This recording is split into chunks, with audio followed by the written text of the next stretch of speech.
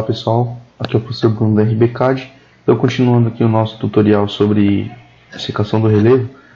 Agora, a próxima etapa é fazer o que? A gente tem que pegar esse modelo digital e a gente tem que aplicar um comando para tirar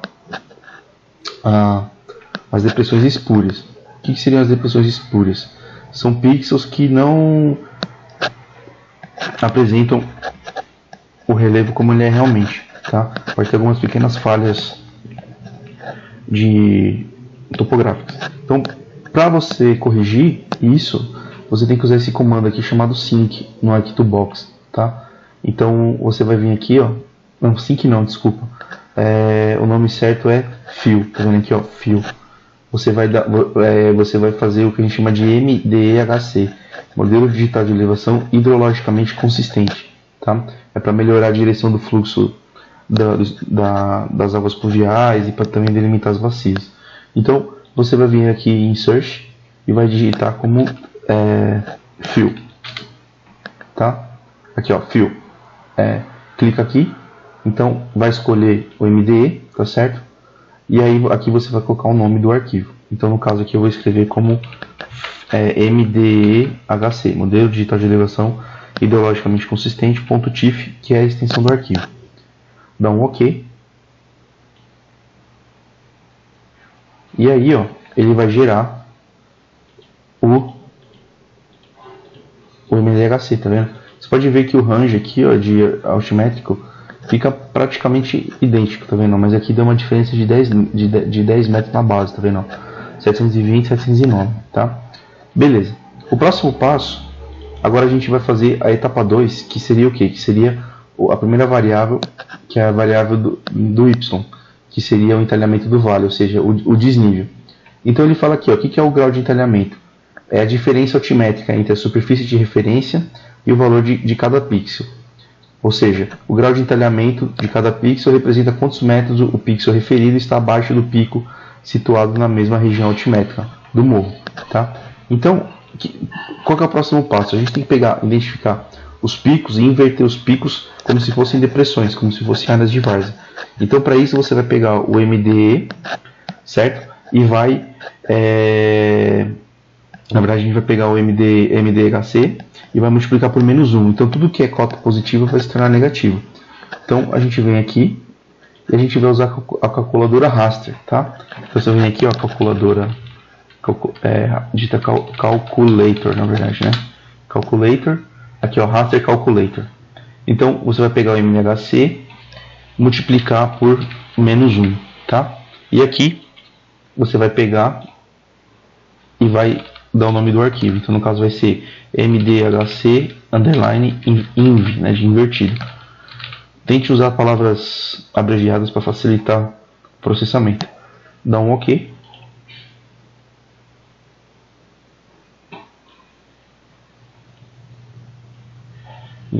Ó, tá vendo? Tudo que era base virou virou topo. Tudo que é topo virou base, tá vendo? 720 menos 720, 858 menos 858, ó. Tá vendo? Inverteu, tá? Agora o próximo passo é o que? Vamos voltar aqui pro, pro arquivo. Então, o próximo passo, a gente tem que identificar visualmente quais são é, os picos. Então, a gente vai usar esse comando sync, que são os, os picos ou as, as depressões espúrias, tá? É, então vamos vir aqui ó, e vamos dar outro comando. Então no caso, vem aqui no ArcGIS e aqui você vai digitar é, sync. Aqui ó, ó cria um, uma, um raster identificando as áreas de drenagem interna. Vem aqui, opa, vem aqui no sync e a gente vai usar como base o que? A gente vai usar como base ah, desculpa. Antes disso, a gente tem que fazer o quê? A gente tem que fazer um raster que seria a direção de, fluxo da, da das águas pluviais, tá? Então, o que a gente também chama de octante. Então, se você vir aqui, ó, ele fala o seguinte, ó, ó, faz um mapa de direção de fluxo, tá? Então aqui ele fala direção de fluxo, tá? Para qual, qual ponto cardial a água vai escoar? Se vai ser para o leste, para o sul, entendeu? Para o norte. Então, a gente vem aqui e escreve é, é, Flow Direction. O ArcGIS está em inglês, então fica um pouco complicado. É corporativo. Então, tudo bem. A gente está aqui. Vamos escolher aqui o, o MDH invertido, tá certo? E aí a gente vai pegar o que? A gente vai vir aqui e escrever o que? Vai escrever FD de Flow Direction underline sobre o MDHC invertido. Então, um save. Tá? Aqui, ó. Na verdade está com o mesmo nome, né? Então, FD underline. Beleza. Dá um OK. Olha lá, tá vendo? Ó, ele vai gerar o fluxo. Beleza. Próximo passo. Agora sim, a gente vai usar o comando sync para identificar os picos. Então, volta aqui no ArcGIS. Você vem aqui e vai digitar sync. Sync, ó. Quando você gera um mapa de direção de fluxo, automaticamente ele identifica, tá? Então aqui, ó, eu vou escrever como sync.tif. Isso aqui são rastros intermediários, pessoal. Depois, quando você tiver o produto final, você apaga, você deleta. Então tá ok, tá ok, ó. Dou um sync. Ó, vamos jogar aqui, ó. Na verdade, vão ser vários pontinhos, quer ver? Tá vendo aqui, ó? Esses pontinhos, eles, eles são o que, na verdade? São é, as áreas de topo de morro, as áreas mais altas da, da bacia, tá? Então, tudo bem. Agora o próximo passo é fazer o que? Eu vou ter que converter esse arquivo que eu criei para pontos, tá? Em formato vetorial. Então eu venho aqui, ó, vou escrever raster to point, tá? Aqui, ó, conversão, tá vendo? Raster to point. Então eu vou escolher o sync e aqui eu vou colocar como escrever como sync, tá? Sync ponto é, desculpa, vai ser sync só, que é ponto shape, né? Ponto SHP. Dá um OK. Tá vendo? Para cada pico ele criou um, um ponto, tá? Agora o próximo passo é fazer o que? É atribuir os valores altimétricos para esses pontos. Se a gente abrir aqui a tabela de atributos, ó, ele não tem o valor de altimetria, tá? De altitude. Então você vem aqui, se você der uma olhada aqui no, no, ele fala, ó, você tem que atribuir as cotas altimétricas do MDE no, no arquivo de ponto a partir desse, dessa função add surface information. Então, então você vem aqui, vai digitar add surface information. Aqui, ó, trazer na list. Então, no caso, eu vou pegar aqui o, o sync e eu vou pegar aqui o que? Eu vou pegar o MDHC, tá certo? Vou colocar aqui como Z, tá? E aqui tem que salvar o nome do arquivo, é, dá um OK. Ó, vem aqui, abrir. Tá vendo? Esses aqui ó, são as cotas altimétricas, tá ok? Agora, o próximo passo, ele fala o quê? É, vou pegar esse ponto e vou converter para para raster de novo, tá? Então, eu venho aqui, usando como base os valores altimétricos. Então, vou escrever point, point to raster, tá? Aqui, ó, point to raster. Então, eu vou escolher, eu vou escolher o sync. Qual que é o, valor? Z, certo? O tamanho da célula, eu vou por 30, o tamanho do pixel, né? E aqui eu vou escrever é, vou colocar como sim, é, sync altimetria. Alti cota. Ponto tif dou um ok. Olha só. Olha que interessante. E com o botão direito aqui ó. Turn off. Tá vendo? Ó agora cada pico tem a sua a sua cota. Beleza. Agora vamos para o próximo passo, que é o que? Então, voltando aqui, pessoal. O próximo passo agora é delimitar as bacias a partir do, do raster de fluxo acumulado, tá? Então, desculpa, do direção de fluxo. Fluxo acumulado é outra coisa. Então, você vem aqui no arquigista, certo? Vem aqui e vai usar a opção Basin, que é delimitar bacias, tá vendo? Basin. Então, aqui ele pede a direção do fluxo, o flow direction, é esse daqui, tá? E aqui eu vou fazer o que? Eu vou pegar e vou salvar como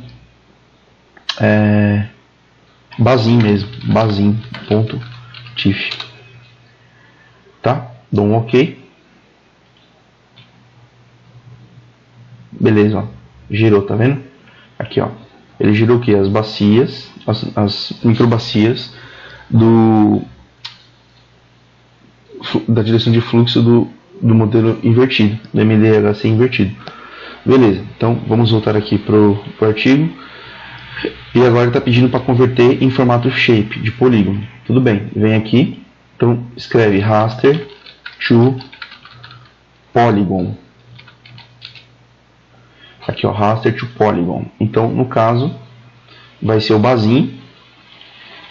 Aí aqui eu só coloco, vou escrever como basin mesmo, basin.shape. Dou um OK. E aí ele gerou.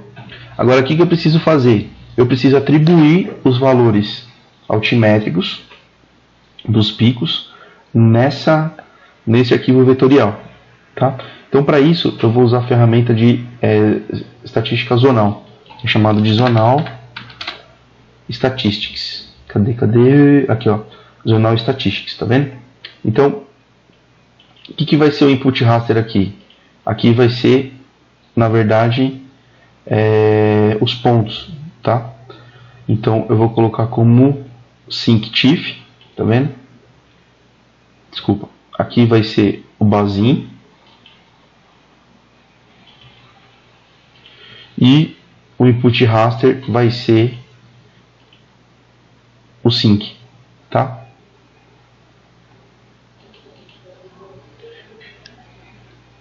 Olá pessoal, voltando aqui. Então, aqui no processo teve uma exceção porque eu não consegui gerar o raster da, das microbacias com as cotas altimétricas dos picos. Não deu certo pelo ArcGIS, tá? Eu não sei se deve ter alguma inconsistência no artigo ou provavelmente deve ser alguma falha de interpretação minha.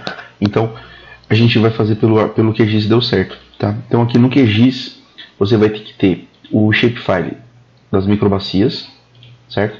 E você vai ter que ter o raster das cotas altimétricas dos picos, tá? Então aqui você vai usar a ferramenta, vai aqui em processar, caixa de ferramentas, você vai ver aqui ó, estatísticas zonal, tá? Aqui você vai colocar o raster da cota dos picos e aqui o basin, tá certo? E aí você vai dar um, um, run, tá? Ó, tá vendo? No ArcGIS deveria ficar assim. O que, que vai acontecer? Você vai ter aqui as estatísticas zonais, certo? E aqui você vai ter o atributo máximo, que no caso aqui vai ser o max, tá vendo? Ó, aqui são as cotas, então tem que usar os valores mais altos como está falado no artigo. Então aqui eu vou selecionar só os valores que tem, tem, tem os algarismos, tá? Para ver. Quando você gera estatística zonal, tá, tá vendo porque é importante ter o efeito de ter a, a margem de segurança, ó, o buffer, ó, tá vendo? Não pegou tudo, tá? Ó, e ficou faltando aqui também, ó, tá vendo? Ficou faltando aqui também. Só verifica, pega a distância se essas áreas aqui tem menos do que 2 km, tá? Que é o limite do município. No caso, acho que dificilmente vai tá tudo bem, não tem problema isso aqui ficar sem valor. Esse daqui talvez tenha que editar manualmente, ó. Tá vendo? E aqui ficou sem, sem valor, tá? Aqui também, ó. Então, o que, que eu vou fazer? Eu vou pegar, vou selecionar, eu vou ver o, valor dessa cota aqui, tá? Aí, tá vendo? Às vezes você tem que fazer algo manual. Então, eu vou pegar aqui, ó, o sync cota, vou pegar na ferramenta de identificação e vou ver aqui, ó, vou colocar como tabela. Então eu sei ó, que esse pixel aqui, ó, ele vale como 795,96, tá? Então eu vou pegar e vou usar esse valor aqui, o mais alto, para preencher essa feição. 795.102, 795.102. Então eu vou aqui deselecionar tudo, tá? Vou pegar aqui, ó, vou selecionar, vou pegar essa feição aqui, eu vou selecionar, vou copiar esse valor aqui, dá um Ctrl C, ver se eu consigo. Aí eu venho aqui na tabela de atributos, né? Eu venho aqui, ó, edito, clico no lápis, abrir tabela de atributos e aqui eu procuro e aqui tem uma opção que só mostra o que está sendo, o que está sendo, é...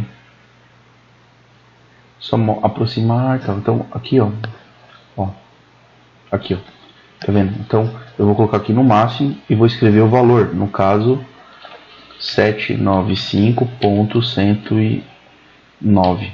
Três casas tá bom. Dou um Enter. Ó, tem problema ficar com menos casas, tá? Sal, clico aqui, ele vai pedir para salvar, para gravar, beleza, tá? Então, eu vou pegar esse arquivo aqui, ó, e vou salvar como o shapefile que está na, na memória RAM do computador. Vou salvar como temp, tá? Temp, dou um OK, beleza. Apago esse aqui e agora eu vou converter o temp, que é um vetorial, em raster, tá? Então eu vou eu vou vir aqui é, é, raster, converter é, vetor para raster, tá vendo? Então aqui ó, eu vou usar o valor máximo, tá? Resolução 30 metros por 30 metros. E aqui eu vou colocar o, o nome do arquivo. Aqui no artigo ele fala o nome do arquivo, tá? Quer ver? O nome do arquivo é esse aqui, ó. É... Suppic, tá? Tá? Suppic. Então, eu vou salvar como geotiff suppic.tif.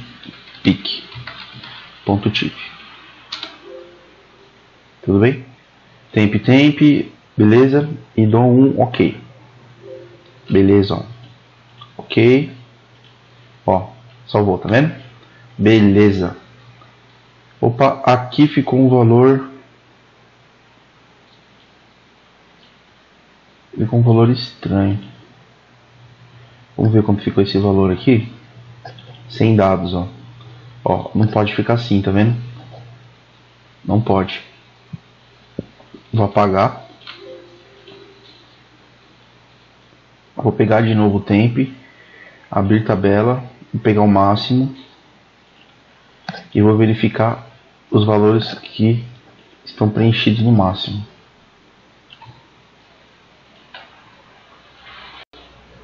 Ó pessoal, tá vendo aqui, ó, algumas coisas ficaram faltando. Esse daqui não tem. Ó, tá vendo, ó, esse não tem. Então, tem que preencher manualmente, não tem jeito, tá? Então, eu vou ter que preencher esses daqui para fazer. Só que antes disso tem outra, um outro recurso que ao invés de você usar a estatística zonal, você pode fazer isso daqui. Ó.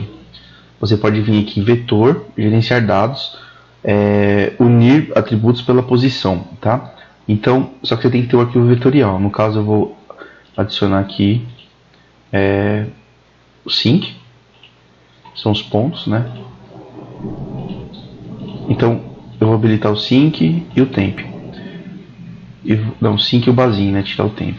Então eu venho aqui em vetor, geometria, é, gerenciar dados, unir atributos pela posição. Então eu quero a camada base é basin e o que eu quero adicionar os dados é do sync, são as cotas altimétricas. Põe a opção intersex, intersecção e vou escrever essa opção aqui, ó, tomar somar das feições intersec, intersectantes, tá? Dou um run. Antes disso eu clico, eu clico aqui para tirar todas as seleções se tiver alguma. E aqui dou um run. Olha que legal. Ele preencheu. Tá certo? E aqui, ó, se você vir aqui em tabelas, ó, aqui no caso vai ser o max z, tá vendo? Preencheu tudo, tá? Ó, só ficou faltando para variar, né? De novo esse pedacinho aqui, ó, tá vendo? Ficaram faltando alguns pedacinhos, tá? Então, eu, eu só vou preencher esse aqui que é maior e vou usar esse como referência. Então vou apagar o temp. Tá? Sync cota também. Não, sync cota não. Então aqui ó, vou habilitar o sync cota. Ó, ele não interpolou porque não tem nada aqui, ó, tá? Então eu vou pegar esse valor mais próximo mesmo. Aqui, ó, o, o, o, o valor máximo, Z máximo,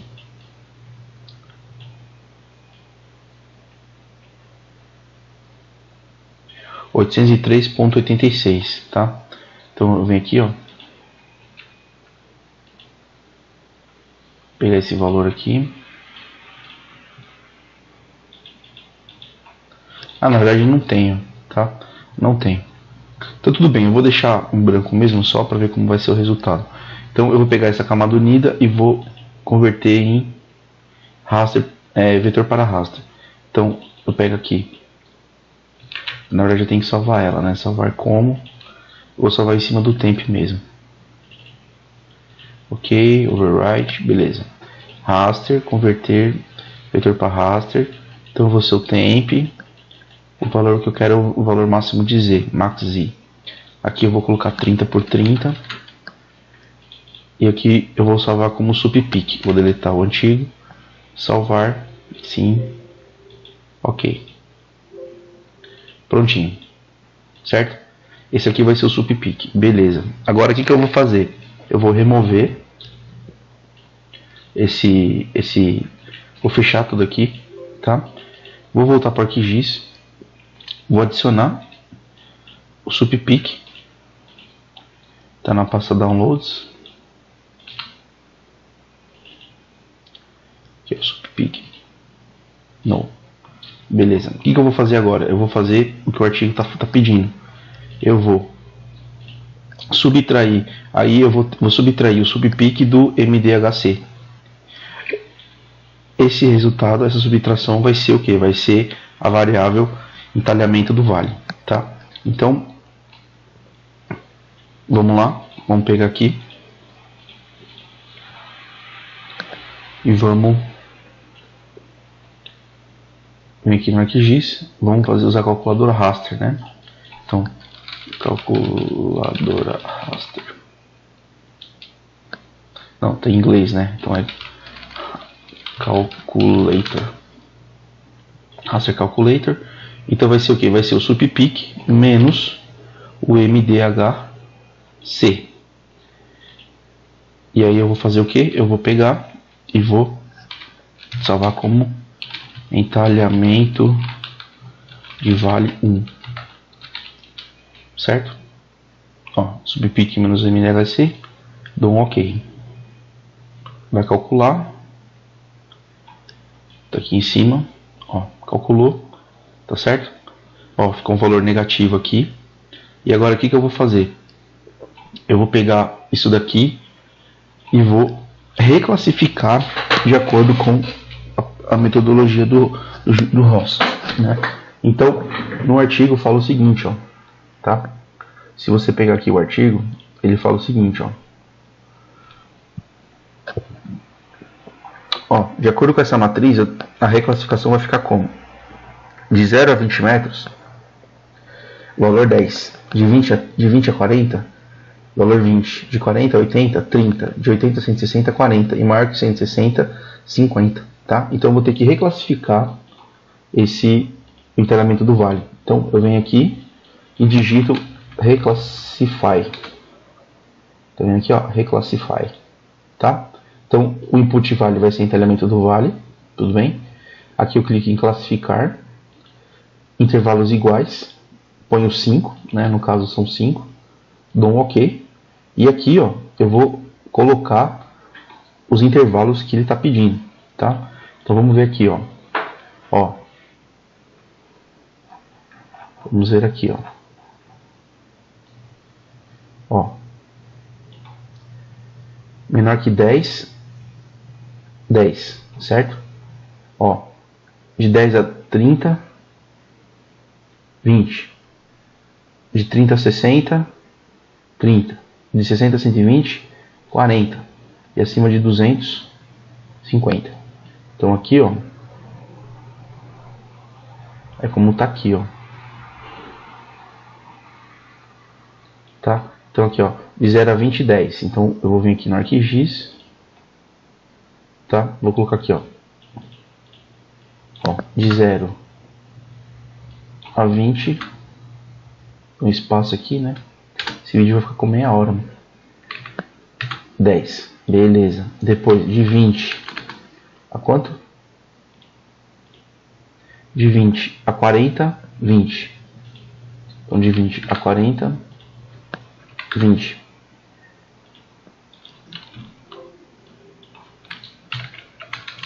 De 40 a quanto? De 40 a 80, 30. De 80 a 160,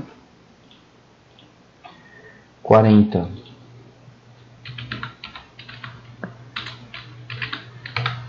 E de 40 e de 160 a ou aqui mil, né? 50. E no data, no data. Então eu vou vir aqui e vou salvar como entalhamento do vale reclass. É, entalhamento do vale 2 ponto tif. Dou um OK. E aqui, ó, ele reclassificou.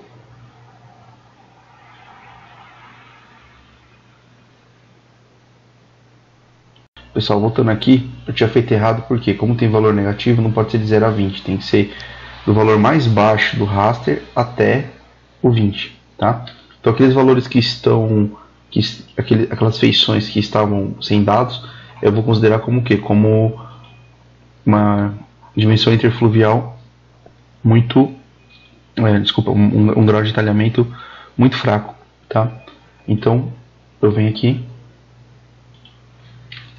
e salvo. Entalhamento do vale 2, tudo bem? Salvar e ok. Olha só, tá vendo? Ele criou, tá vendo? O entalhamento e por fim, eu vou fazer o que? A próxima etapa seria recortar o pelo, pelo, pelo limite administrativo do município. Só que no caso, eu só vou fazer isso depois que eu somar com a segunda variável, que é a dimensão interfluvial, tá certo? Então aqui nós temos aqui é, os valores de 10 a 40, então pelo mapa a gente vê que só tem uma interfluvial de 10 a 40, não tem valores é, se você pegar aqui, ó, não tem valores muito fortes, tá? Então, o vídeo se encerra por aqui e o próximo vídeo vai ser a parte do, da dimensão interfolial média, tá certo? Então é isso, pessoal. Muito obrigado e até o próximo vídeo.